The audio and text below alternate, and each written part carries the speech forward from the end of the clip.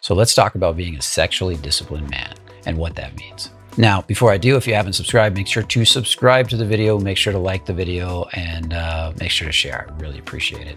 I don't want you to miss any of the awesome content. So let's dive on in. What does it mean to be a sexually disciplined man?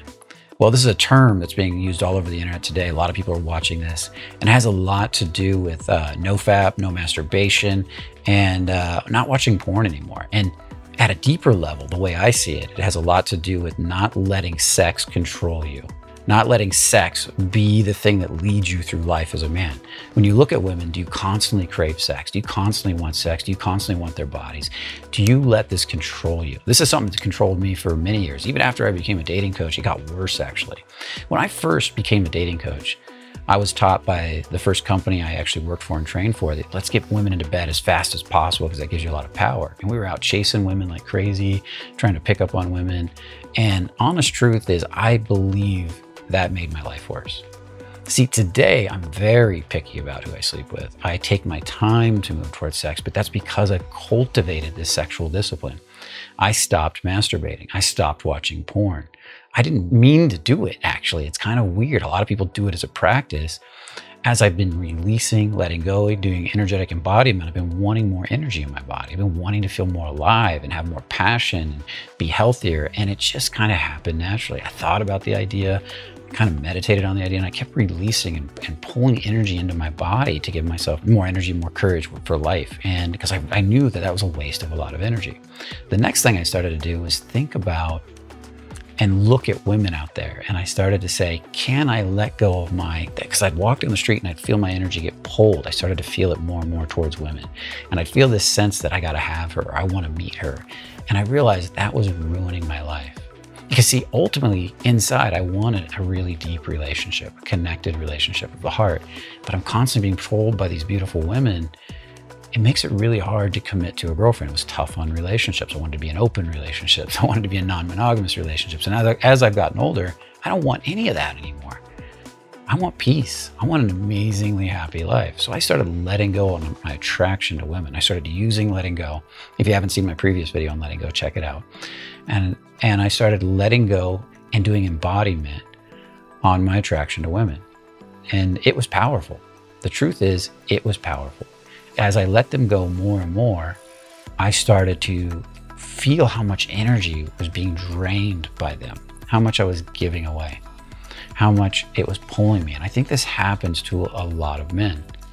And as I started to reclaim that energy, I naturally stopped watching porn. I naturally stopped masturbating kind of on my own. And it was really interesting. I felt the energy rising in my body more and more and more.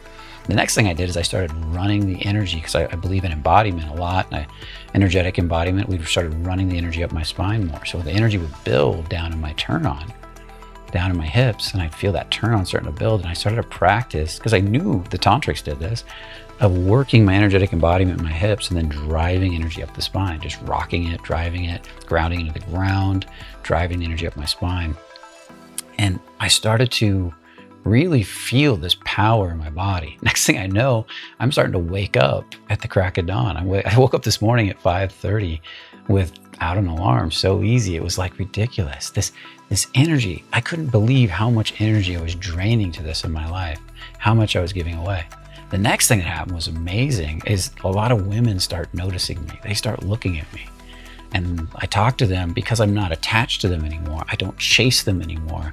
I don't need them anymore. I could walk away. I look at them, they and I can feel like almost their energy. Instead of me chasing them energetically, they come into me. And I feel this sense they sink into me and they get curious and they start leaning towards me. And then I get to be more of a chooser at that point. And that was really a powerful realization. The peace of mind that came from this as I started to do this more and more was amazing. Things in my body started healing that I've been dealing with for years. Um, it sounds weird, but I have some varicose veins on my left leg, and they're getting less. You know, as, as I as I get more energy in my body, all my uh, my remaining gut and bladder issues seem to be just vanishing. They're pretty much vanished, and uh, I just got healthier and healthier. So I can't speak enough to everybody about this. I'm not saying you should never orgasm again. I should not saying you shouldn't have. I'm definitely not saying you shouldn't have sex with women. It's because that's what it's really about. Is about at this point when I'm with a woman, I can fully be present for her. I can fully let her in. I can fully enjoy her. Now think about this for a minute. Why are so many men having trouble with women today? Well, I think it has a lot to do with this. You see, the porn industry is a $13 billion industry. We can access women really quickly, just hop on the laptop and there's porn right there. You can go from girl to girl to girl. You don't have to deal with a breakup. You don't have to have any real connections. You don't have to have any real entanglements. You can let all that go. But this also leads to a lot of lonely men that don't know how to talk to women. They're drained from masturbating all the time. They don't have any energy. They don't have drive. The women can feel their lack of purpose, passion, and turn on. And then when they get in front of the women, they're they, they are afraid to connect. They're afraid to go deeper. They're afraid to really let her in, which is what she's craving to be intimate with you. So is the problem out there really all the women? I'm not saying it's not. I'm not saying there aren't women out there in this modern day age that have changed. But I'm also saying that we have changed a lot too. It's, you know, there's two sides to a coin, law of polarity. And as you start to reclaim your power as a man, you know, letting all women go, that was a popular video for me. You're going to start to really see a difference in the way not just women relate to you, but the world relates to you because more energy is going to be in your body. You're going to be more alive. And especially if you can start learning to circulate that energy and start to get some a little bit about what they call multi-orgasmic, where you instead of orgasming through coming, you orgasm through your body and you really let that energy fly up your spine and stuff like that. I'm not saying you have to do that all the time either, but it's a great option to have if you want to do it. I can't say more than enough good things about this and how much it's helped me in my life, how much it's grown my life, how much it's moved me into more feeling. And actually, for a while, there was a lot of emotions coming up that I couldn't even get to from letting go before that now I was able to get to because they were coming up because of all the extra energy. And now I was able to face them, open them, and clean them up. And that was huge too, because some of the deepest stuff I didn't know was still down there came up from this. And uh, that really changed my life. Now, on top of that, there's many other things we do to distract, right? You might just go on Instagram and look at pretty girls on Instagram. You might be going out and drinking alcohol. There's so many other things that I have also let go of to improve this area of my life. But becoming sexually disciplined was huge. It wasn't just about not masturbating and not doing nofap. It was about letting go of my addiction to women's bodies. Now I can enjoy them. I can see them. They're beautiful. I can have a heart for them, but I can take it or leave it. And that gives me a lot more power with women, with life, and with relationship. It allows me to say, you know what, I really want to let you in and I want to be with you. And that's huge. Okay. So hopefully you like this video. Hopefully you got a lot of value out of it. I definitely want to hear a comment. I don't care what you comment about. Are you doing this? Do you want to try this? Do you want to understand more? Do you want me to do a video on the microcosmic orbit and driving the energy through the spine, which I've just been figuring out through the energetic letting go? Do you want me to do a video on energetic uh, embodiment itself?